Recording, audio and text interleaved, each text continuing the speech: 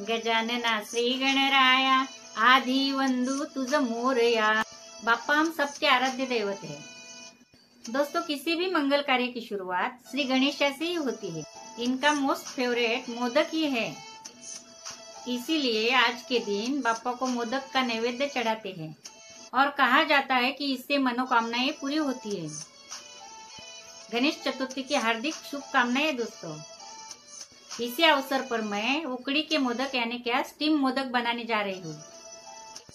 मैं आपको छह अलग अलग प्रकार के क्रिएटिव मोदक दिखाने जा रही हूँ तो ये वीडियो पूरा देखना स्किप मत करना।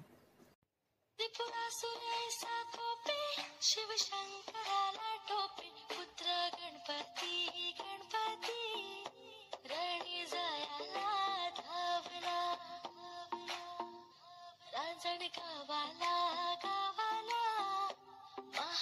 दोस्तों, ये फरमाइश आई थी सुप्रिया सराटे मुंबई से।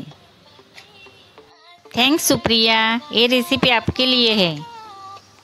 तो पहले इंग्रेडिएंट्स देखते हैं।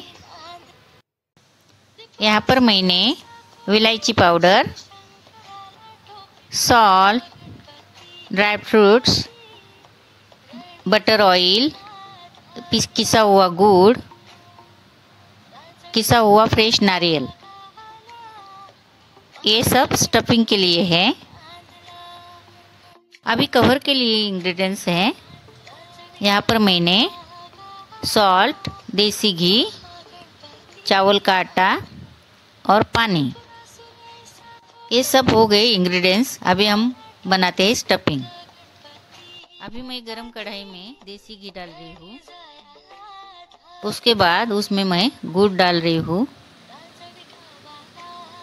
गैस की फ्लेम एकदम लो होनी चाहिए। गुड़ मेल्ट हो गया। अभी मैं उसमें किसा हुआ नारियल डाल रही हूँ।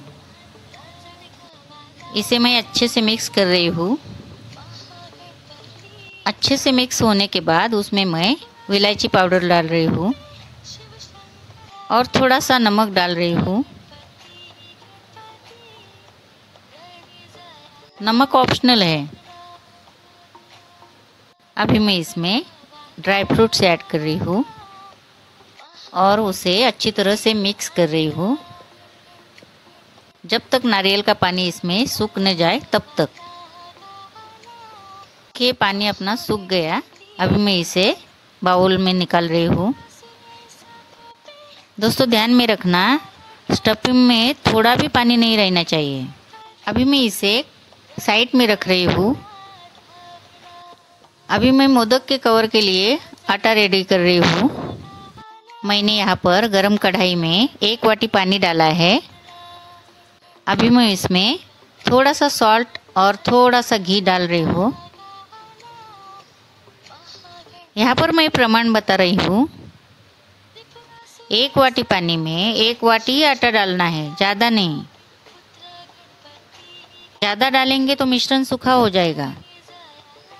और मोदक बनाते समय अच्छे से मोड़ भी नहीं होगा। अभी मैं गैस बंद कर रही हूँ और इसे अच्छे से मिक्स करके उसमें गुठलियाँ रहती है, वो मैं अभी फोड़ रही हूँ। ये मिश्रण में मैं थोड़ा थोड़ा पानी डाल के गूंद रही हूँ। अभी मैं इसे एक परात में निकाल के गर्मा गर्म इसे गूनूँगी। गूनते समय हाथों में ठंडा पानी लगाना है। और इसे गर्मा गर्म ही गुनना है, तभी मोदक का शेप आएगा। कंटिन्यू इसे 10 मिनट तक गूनना है दोस्तों। जितना ज़्यादा गुनोगे उतना मोदक का शेप अच्छा आएगा। 10 मिनट अच्छे से गुनने के बाद इसे मैं एक गीले कपड़े में ढक रही हूँ। गीला कपड़ा इसलिए ताकि मोदक बनाने के समय ये आटा सूखे ना। जैसे रोटी का आटा गूंथते हैं, वैसे ही इसे गूंथना है। ये मैं पहला शेप दिखा रही हूँ, मोदक का ऐसा वाला। पहले मैं हाथ में पानी लगाती हूँ। थोड़ा सा मिश्रण हाथ में लेके इसका मैं गोला बना रही हूँ। गोला बनाने के बाद गोले को बीच में अंगूठे से प्रेस करना है और दूसरे हाथ से इसे किनारों से प्रेस करेंगे। हल्के हाथों से इसकी एक कटोरी बनाऊँगी। इसके किनारे क्रैक होते हैं तो इसको ठीक करेंगे। थोड़ा सा पानी हाथ, हाथों में लगाकर। देखिए, कटोरी बना के हो गई। अभी मैं इसमें फिलिंग भर रही हूँ। ना ही इसमें ज़्यादा फिलिंग भरनी है, ना ही कम फिलिंग भरनी है। मीडियम फिलिंग भरनी है। देखिए, मैं जैसा कर रही हूँ, वैसे ही करना। एक उंगली कटोरी के अंदर और दो उंगलियाँ कटोरी के बाहर रखकर इसे पीच बनाएँगे। एक उंगली का अंतर रखकर सारे पीच बनाएँगे और हल्के हाथों से सारे पीच इकट्ठा करेंगे। इस तरह इसे ज्वाइन करेंगे। और ये हो गया हमारा मोदक तैयार। अभी मैं एक प्लेट में घी लगा के ये हमारा मोदक उसमें रख रही हूँ। इससे क्या होगा, मोदक चिपकेंगे भी नहीं और क्रैक भी नहीं होंगे। अभी मैं मोदक का दूसरा शेप दिखा रही हूँ, डबल डेकर, या ऐसा वाला। आटे को गोल गोल बनाएँगे, गोले को बीच में अंगूठे से प्रेस करेंगे और दूसरे हाथ से किनारों से प्रेस करेंगे। हल्के हाथों से इसकी एक कटोरी बनाएँगे, इसके किनारे क्रैक होते हैं तो इसकी, इसको ठीक करेंगे। इसमें हम फिलिंग भरेंगे। एक उंगली कटोरी के अंदर और दो उंगलियाँ कटोरी के बाहर रखकर इसे पिच बनाएँगे। एक उंगलियाँ अंतर रखकर सारे पिच बनाएँगे। हल्के हाथों से सारे पिच इकट्ठा करेंगे। इस तरह इसे ज्वाइन करेंगे। अभी यहाँ पर थोड़ी कसरत है दोस्तों। देखिए, ये ऊपर वाला पार्ट है ना, इसकी भी मैं अभी कटोरी बनाऊँगी। ऊपर से। कटोरी छोटी पड़ रही है, इसलिए मैं उसमें थोड़ा आटा ऐड करूँगी और इससे मैं बड़ी कटोरी बनाऊँगी। देखिए, ये जॉइंट कटोरी बन गई। अगर लगता है क्रैक हो गए हैं तो हाथ से पानी लेके ठीक करना है। अभी मैं इसमें फिलिंग डाल रही हूँ। एक उंगली कटोरी के अंदर और दो उंगलियाँ कटोरी के बाहर रखकर इसे पिच बनाएँगे। एक उंगलियों का अंतर रखकर सारे पिच बनाएँगे और हल्के हाथों से सारे पिच इकट्ठा करेंगे। इस तरह इसे ज्वाइन करेंगे। ये हो गया हमारा डबल डेकर मोदक तैयार। बीच बीच में जब भी लगता है, हाथों में पानी लगाते रहना। देखिए कितना सुंदर दिख रहा है डबल डेकर मोदक। अभी मैं तीसरा शेप दिखा रही हूँ, पोटली मोदक। वैसे ही आटे का गोला बनाएँगे, गोले को बीच में अंगूठे से प्रेस करेंगे, दूसरे हाथ से किनारों से प्रेस करेंगे, हल्के हाथों से इसकी एक कटोरी बनाएँगे। इस किनारे में क्रैक होते हैं, वो ठीक करेंगे। इससे हम फिलिंग भरेंगे। एक उंगली कटोरी के अंदर और दूसरी उंगली या कटोरी के बाहर रखकर इसे पिच बनाएँगे। एक उंगली या अंतर रखकर सारे पिच बनाएँगे और हल्के हाथों से सारे पिच इकट्ठा करेंगे। इस तरह से इसे ज्वाइन करेंगे। हल्के हाथों से करना है दोस्तों, क्योंकि नीचे से ज़्यादा मोड़ना है। और इसे थोड़ा सा फ्लावर जैसा शेप करके, ये हो गया हमारा पोटली मोदक। देखिए कितना सुंदर दिख रहा है। अभी मैं चौथा शेप दिखा रही हूँ लोटस मोदक। वैसे ही आटे को गोला बनाएँगे, गोले को बीच में अंगूठे से प्रेस करेंगे और दूसरे हाथ से इसे किनारों से प्रेस करेंगे। हल्के हाथों से इसकी कटोरी बनाएँगे। इसके किनारे क्रैक होते हैं तो इसका, इसको ठीक करेंगे और इसमें हम फिलिंग भरेंगे। एक उंगली कटोरी के अंदर और दो उंगलियाँ कटोरी के बाहर रखकर इसे पिच बनाएँगे। एक उंगली अंतर रखकर सारे पीच बनाएँगे और हल्के हाथों से सारे पीच इकट्ठा करेंगे। इस तरह इसे ज्वाइन करेंगे। ज्वाइन करने के बाद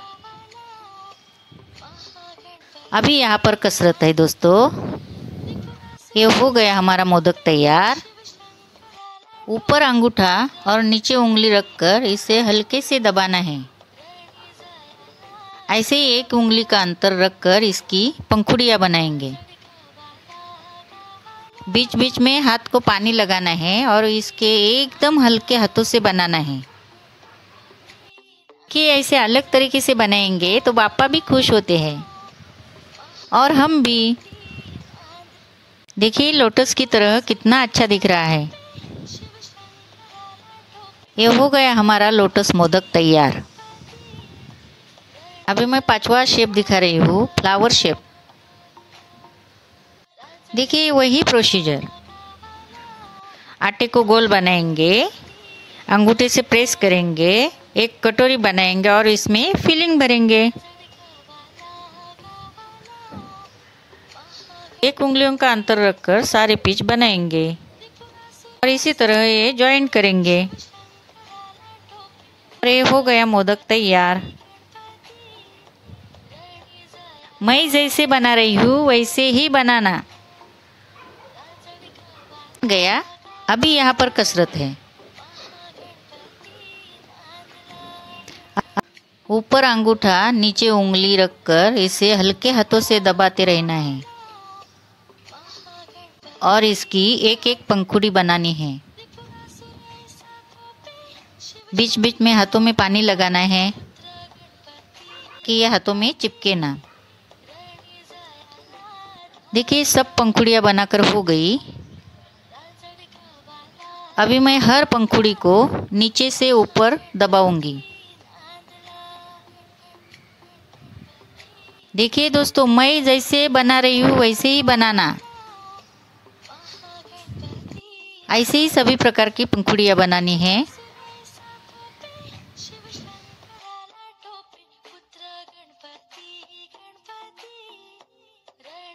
और ये हो गया हमारा फ्लावर मोदक तैयार।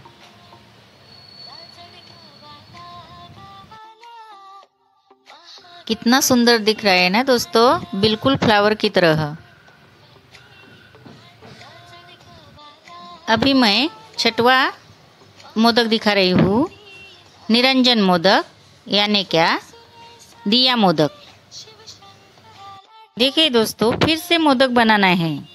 आटे को गोल बनाएँगे, गोले को बीच में प्रेस करेंगे, और उसकी कटोरी बनाएँगे। और उसमें फिलिंग भरेंगे। और एक उंगली कटोरी के अंदर और दूसरी उंगली कटोरी के बाहर। इससे पिच बनाएँगे।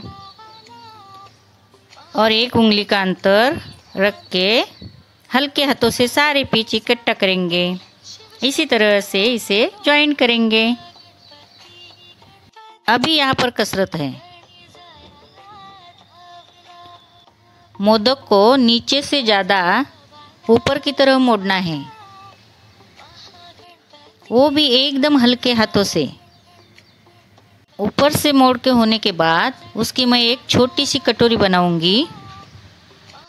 इसके किनारे क्रैक होते हैं ना दोस्तों तो हाथों में थोड़ा सा पानी लेके इसको ठीक करना है। देखिए, कटोरी अपनी तैयार हो गई। एक उंगली कटोरी के अंदर और दो उंगलियाँ कटोरी के बाहर रखकर इसका एक पिच बनाएँगे। ये हो गया ना दोस्तों, बिल्कुल दिए जैसा। ये हमारा निरंजन मोदक तैयार। इसी तरह ऐसे पाँच दिया मोदक बनाएँगे। उसमें तेल डाल के और ज्योति डाल के वो जलाएँगे ना तो ये भगवान को पंचारती होता है। देखिए ये छह प्रकार के मोदक बना के हो गए। अभी मैं एक गुजिया बना के दिखा रही हूँ, यानी क्या करंजी। दोस्तों, ये घर पे आप स्वीट मोमो की तरह ही बना के खा सकते हो। देखिए, हाथ में एक गोला लेके उसकी अच्छी तरह से कटोरी बनाना। कटोरी बनाने के बाद इसमें मैं स्टफिंग भर रही हूँ। इसे मैं अभी आधे से मोड़ रही हूँ। ये मैं जैसा कर रही हूँ, वैसे ही करना। पहले मैं इसके कॉर्नर्स प्रेस कर रही हूँ। हाथों में पानी लगा के इसे थोड़ा थोड़ा मैं दबा के इसको पूरी तरह से पैक करूँगी। अंगूठा ऊपर करके और एक उंगली नीचे रखकर इसे मैं मोड़ रही हूँ। ये मैं पूरे कॉर्नर तक कर रही हूँ। इसका डिज़ाइन पायल की तरह होता है। दिखने में बहुत ही अच्छा दिखता है। देखिए, मैं जैसा बना रही हूँ, वैसे ही बनाना। ताकि ये चिपके नहीं। तो ये हो गया हमारा गुजिया, यानी क्या, करंजी मोदक तैयार। आपको कुछ भी दिक्कत आती है, देखिए मेरे सब प्रकार के मोदक बना के हो गए हैं। अभी मैं इसे स्टीम करूँगी। पहले मैं जाली को घी लगा के ले रही हूँ, ताकि ये मोदक चिपके ना। अभी मैं इसमें एक एक मोदक रख रही हूँ। अभी मैंने एक बड़े से पतीले में पानी बॉईल किया है। अभी मैं पतीले के ऊपर मोदक की जाली रख रही हूँ और ऊपर से ढक्कन दे रही हूँ। इसे मैं 10 मिनट तक हाई फ्लेम पर स्टीम करूँगी। 10 मिनट के बाद इसे मैं खोल रही हूँ और ये हमारे मोदक तैयार। और मैं इसे सर्विंग प्लेट में निकाल रही हूँ। देखिए मेरे छह प्रकार के मोदक कितने प्यारे दिख रहे हैं। देखिए, बीच में मैंने दिया भी जलाया है। इसका हर एक शेप यूनिक और सुंदर है। Once again thank you so much Supriya. I hope ये रेसिपी आपको पसंद आई होगी। कमेंट में ज़रूर बताना।